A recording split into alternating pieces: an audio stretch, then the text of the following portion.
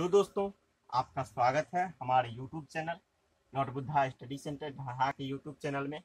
दोस्तों, आज मैं सुरेंद्र कुमार इस यूट्यूब चैनल के ज़रिए विद्यासागर अंगनी से संबंधित टाइम एंड डिस्टेंस का इंट्रोडक्शन क्लास लेके आया तो दोस्तों, जैसा कि आप देख रहे हैं, आपके बोर्ड पे कुछ मैं इंट्रोडक्शन क्लास के अंतर्गत कुछ देखिए, तथ्य लेके आया हूँ। तो इसको समझेंगे। सबसे पहले देखिए, आप ये जानते हैं, चाल बराबर दूरी बटा समय होता है। और इसी में देखिए दोस्तों, दूरी बराबर सूत्र बन जाता है तो चाल गुने समय। अब देखिए, इस पे थोड़ा चर्चा करते हैं। तो ये क्या हो गया? चाल गुने समय बराबर दूरी। अब देखिए, इसी में क्या हो गया? समय बराबर दूरी बट्टे चाल। तो देखिए, इसके बट्टा में एक सभी डिजिट के बट्टा में एक होता है। जैसे मान लीजिए चार है, पाँच है छ है। इत्यादि लिखा हुआ है, इस सभी के बट्टा में एक रहता है। लेकिन एक को लिखा नहीं जाता है। इसीलिए क्या है दोस्तों, एक छुपा हुआ है। तो देखिए, इसको क्रॉस मल्टीप्लीकेशन कीजिएगा। तो देखिए, एक को दूरी से गुना कीजिएगा। तो एक गुने दूरी हो जाएगा। और देखिए, इसको इसे गुना कीजिएगा, चाल गुने समय हो गया। ये हो गया दूरी बराबर। अब देखिए, समय मान लीजिए, समय बराबर हो गया। इधर देखिए, समय को रख लिए। अब देखिए, इसको इधर भेज दिए। बराबर के इस साइड में क्या है इस दोनों के बीच में? गुना चिन्ह उधर ले जाएँगे तो क्या हो जाएगा? भाग में। तो ये हो गया, बट्टा में चाल हो गया। अब देखिए, इससे देखिए कुछ चर्चा कर लेते हैं। यदि मान लीजिए बराबर के इस साइड आपका कोई भी चिन्ह, क्या हो दोस्तों? प्लस में उधर जाएगा तो माइनस में। इधर देखिए माइनस में रहेगा उधर जा, हो जाएगा प्लस में। इधर रहेगा गुना में उधर जाएगा भाग में हो जाएगा। इधर देखिए क्या रहेगा दोस्तों? इधर देखिए यदि भाग में हो कोई भी डिजिट तो उधर यदि बराबर उस साइड ले जाइएगा तो क्या हो जाएगा? आपको गुना में हो जाएगा। देखिए इस प्रकार से क्या होता है? बदल जाता है। तो चलिए अब चलिए नेक्स्ट की ओर चलते हैं। देखिए अब इसमें देखिए आपका है सापेक्ष चाल सापेक्ष चाल क्या होता है? अब इसको समझिए। दिशा में चाल। अब देखिए, दिशा में चाल। देखिए, दो गाड़ी है, मान लीजिए। दोस्तों, दो गाड़ी है और देखिए, दोनों गाड़ी एक ही दिशा में चल रही है। एक ही दिशा में चल रही है। तो देखिए, इसका चाल मान लेते हैं एक्स और इसका चाल मान लेते हैं वाई तो यदि आपसे पूछ देगा, सापेक्ष चाल तो सापेक्ष चाल होता है बड़ा में से छोटा को घटा दीजिए। यानी x माइनस वाई ये हो गया आपका सापेक्ष चाल। अब देखिए, इसी में क्या होता है अपेक्षिक चाल होता है। अपेक्षिक चाल क्या होता है, जब कोई भी दो गाड़ी विपरीत दिशा में चलती है। क्या चलती है दोस्तों तो विपरीत दिशा में चलती है।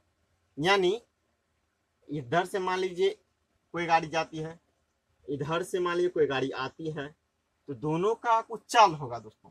इसका चाल मैं मान लिया एक्स और इसका चाल मान लिया वाई अब देखिए, आपको विपरीत दिशा में कहेगा तो चाल क्या होगा? अपेक्षिक चाल जुट जाएगा दोस्तों। यानी एक्स प्लस वाई हो जाएगा।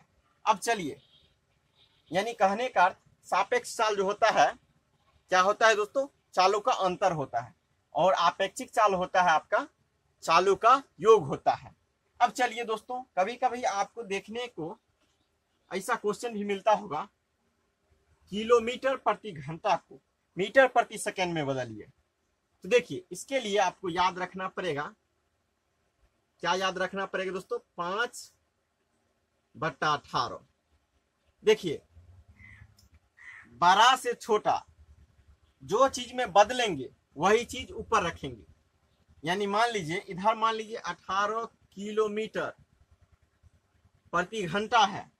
अब हमको बनाना है, मान लीजिए, देखिए दोस्तों, इसको याद रखना पड़ेगा, पाँच और अठारह को। अब चलिए इसको क्या करेंगे? अब देखिए, इधर क्या है? अठारह किलोमीटर प्रति घंटा। अब इसको बनाना है हमको मीटर प्रति सेकेंड में। यदि कह दे, देखिए, इसको याद रखिएगा। इधर किधर किधर जा रहे हैं? यानी बड़ा से छोटा की ओर। तो क्या करेंगे? इसको लिखेंगे। और जो चीज़ बदलना रहेगा, उसको ऊपर लिखेंगे, यानी छोटा बना रहे हैं। इस दोनों में छोटा कौन है? पाँच। और क्या लिखेंगे? नीचे में बड़ा लिखेंगे। इसको देखिए, काटिएगा। पाँच, ये क्या हो जाएगा? मीटर प्रति सेकेंड। अब मान लीजिए, इसी को बदलते हैं।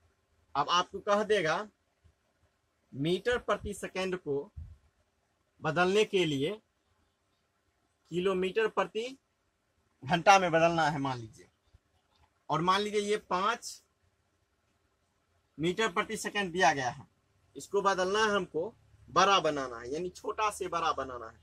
तो इसको लिखेंगे, और यहाँ देखिए, छोटा बनाना था तो छोटा बट्टे बड़ा लिखे। अब देखिए यहाँ क्या बनाना है, बड़ा बनाना है तो बड़ा बनाना है तो बड़ा बट्टे क्या लिखेंगे? छोटा। तो देखिए ये हो गया अठारह किलोमीटर प्रति घंटा। अब चलिए एक और लेते हैं। अब देखिए इसको लेते हैं चौवन किलोमीटर प्रति घंटा। अब मान लीजिए इसको हम बन, हमको बनाना है मीटर प्रति सेकेंड में यानी छोटा बनाना है। तो क्या लिखेंगे? छोटा बट्टे बड़ा यानी चौवन गुने क्या लिखेंगे? छोटा बनाना है तो छोटा। क्या लिखेंगे दोस्तों? छोटा। छोटा क्या है? पाँच। और देखिए बड़ा क्या है? अठारह। अठारह या चौवन ये क्या हो गया? पंद्रह। मीटर प्रति सेकेंड। इस प्रकार से चेंज करेंगे। तो चलिए दोस्तों, फिर नोट करते हैं और फिर आते हैं। चलिए दोस्तों, जैसा कि देख रहे हैं, अब दूरी से संबंधित मैंने टॉपिक को नोट कर लिया, इसको समझिए। इसको समझना बेहद ही ज़रूरी है दोस्तों। तो चलिए, इसको समझिए। जब मान लीजिए, दो गाड़ी एक दूसरे को पार करे, यानी जब दो रेलगाड़ी एक दूसरे को पार करे तो क्या होगा? मान लीजिए, ऐसे एक गाड़ी जा रही है। और एक गाड़ी मान लीजिए इधर से आ रही है तो इस स्थिति में दूरी क्या होगा? तो इधर का जो गाड़ी जा रही है, उसकी दूरी और इधर से जो गाड़ी आ रही है, उसकी जो लंबाई होगी दोस्तों, दोनों की जो लंबाई, वही उसकी क्या हो जाएगी?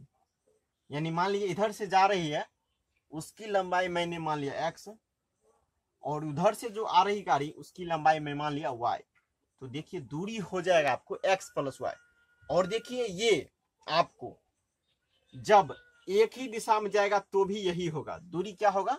जुट जाएगा। दूरी क्या होता है दोस्तों? हमेशा जुट जाता है। यानी इधर से मान लीजिए एक गाड़ी जा रही है, एक एक रेलगाड़ी इधर जा रही है, एक रेलगाड़ी फिर मान लीजिए इधर से ही जा रही है। इस स्थिति में भी उसकी दूरी क्या होगा? जुट जाएगा। इसकी लंबाई मान लीजिए एक्स है उसकी लंबाई मान लीजिए वाई है। तो दूरी क्या हो जाएगा? एक्स प्लस वाई अब देखिए, अब एक कंडीशन और होता है, दूरी। क्या होगा इस स्थिति में? जब मान लीजिए कोई रेलगाड़ी पोल को पार कर रहा, या सिग्नल को पार कर पार कर रहा, या प्लेटफॉर्म पे खड़े व्यक्ति को पार कर रहा, या पेड़ को पार कर रहा, इत्यादि को पार करेगा, उस स्थिति में क्या होता है? दूरी को। यानी इस, इन सब का दूरी को क्या माना जाता है? नगण्य माना जाता है। उस स्थिति में रेलगाड़ी की जो लंबाई होगी, आपका वही क्या हो जाएगा? दूरी हो जाएगा। यानी मान लीजिए, इस स्थिति में रेलगाड़ी की लंबाई ही क्या हो जाएगा? रेलगाड़ी की लंबाई क्या हो जाएगा?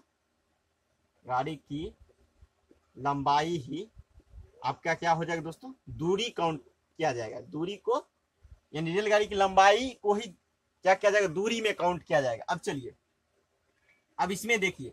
अब कभी कभी क्या होता है? आप देखते होंगे कि रेलगाड़ी मान लीजिए कभी कभी क्या होता है? प्लेटफॉर्म को पार करता है। या किसी पुल को पार करता है, उस स्थिति में दूरी क्या हो जाएगा? तो देखिए, उस स्थिति में क्या हो जाएगा? गाड़ी की लंबाई। दोस्तों, उस स्थिति में आपका दूरी हो जाएगा गाड़ी की लंबाई और क्या हो जाएगा? प्लस पुल या प्लेटफॉर्म की लंबाई हो जाएगी। तो देखिए, इस स्थिति में ये दूरी हो जाएगा। चलिए दोस्तों, फिर कुछ नोट करके आते हैं आपके स्क्रीन पे। तो दोस्तों, जैसा कि आप देख रहे हैं, चलिए इसको मैं नोट कर लिया। अब चलिए इसको समझते हैं। औसत चाल बराबर, आप जानते होंगे, कुल दूरी बटा क्या होता है? कुल समय होता है। और देखिए दोस्तों, एक और फॉर्मूला होता है। इस कंडीशन में क्या होता है? कि ओनली आपको दो चाल दिया हुआ रहेगा। तो एक मान लीजिए एक्स चाल दिया हुआ रहेगा और एक वाई चाल दिया हुआ रहेगा। इस स्थिति में आपसे पूछेगा औसत चाल। बराबर क्या लगाइएगा सूत्र दोस्तों? तो देखिए, ये लगाइएगा टू एक्स इंटू वाई बट्टा एक्स प्लस वाई। अब देखिए, एक और होगा इसी में। क्या होगा दोस्तों? तो देखिए दोस्तों, इसमें क्या होगा? इसमें देखिए, इसमें भी आपको औसत चाल ही पूछेगा। औसत चाल ही पूछेगा और तीन चाल इसमें दिया हुआ रहेगा। क्या क्या दिया हुआ रहेगा? चलिए उसको देखते हैं। देखिए, एक चाल दिया हुआ रहेगा, एक ट्रेन, तीन चले, तीन देखिए इसमें ट्रेन का चाल दिया हुआ रहेगा। यानी एक्स वाई जेड। तीन ट्रेन का चाल दिया हुआ रहेगा। इस स्थिति में औसत चाल कैसे निकालेंगे? तो देखिए three into x y z बट्टा। क्या लगाएँगे? बट्टा x y plus y z plus z x इस सूत्र को लगा के हम क्या निकालेंगे? औसत चाल निकाल लेंगे और देखिए दोस्तों, आज के लिए इतना ही। और एक चीज़ दोस्तों, जितने भी दोस्त लोग, मेरे वीडियो देख रहे हैं उन सभी को बहुत बहुत धन्यवाद। और इस वीडियो के आपको डिस्क्रिप्शन में चौतीस एग्ज़ाम्पल का जो आपका क्वेश्चन है, उसका पीडीएफ मिल जाएगा। उसको बनाइएगा और बनाने के बाद आप देखेंगे उसमें बहुत सारे क्वेश्चन सीखने को मिलेंगे। तो इसी क्लास से संबंधित इंट्रोडक्शन क्लास के अंतर्गत एक क्लास का अपडेट और मैं दूँगा। उसके बाद में फिर आपको ले चलूँगा क्लास की ओर। सारे क्वेश्चन को सोल्यूशन करने का पूर्णतः प्रयास करूँगा और मेरा प्रयास रहेगा सभी क्वेश्चन आप समझे। तो थैंक यू दोस्तों। आज के लिए इतना फिर मिलते हैं नेक्स्ट वीडियो में।